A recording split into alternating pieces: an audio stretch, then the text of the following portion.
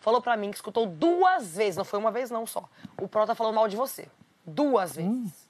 O que, por exemplo? Eu não sei quando eu perguntei pra pessoa na hora que eu não, não, não, não quis entre- entrar no assunto. Mas é só pra você prestar atenção que já, que já teve uma pessoa Certo. que afirmou para mim que escutou ele falou mal de você duas vezes. Pronto. Então você toma muito cuidado achando que ele é teu amigo, que ele não é. É você que acha isso. Porque vocês viveram um dia, 24 horas de um programa numa outra casa. Ele não é teu amigo desse jeito.